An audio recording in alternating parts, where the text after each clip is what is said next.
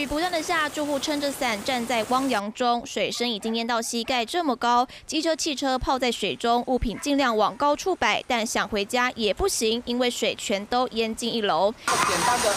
板子好折起来，水桶等接水用具全都拿出来。这里就位在屏东长治乡湘潭路，暴雨来低洼地区就会积水。二十九号下午，中央气象署针对十一个县市发布豪大雨特报。经济部水利署也发布淹水警戒，屏东林洛乡、长治乡等五区都被列为一级警戒。这个问题出在哪里呢？出在那前面那条、那条、那个沟啊。上次有跟县政府去报告过了，那县政府好像说他说没问题，还是有问题啦。物质长治乡同样被列为淹水一级警戒的屏东市也难逃水灾。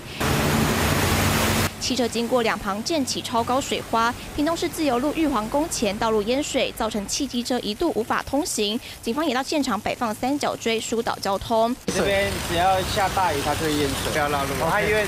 你骑摩托车，所以就想说就是等人家开车来。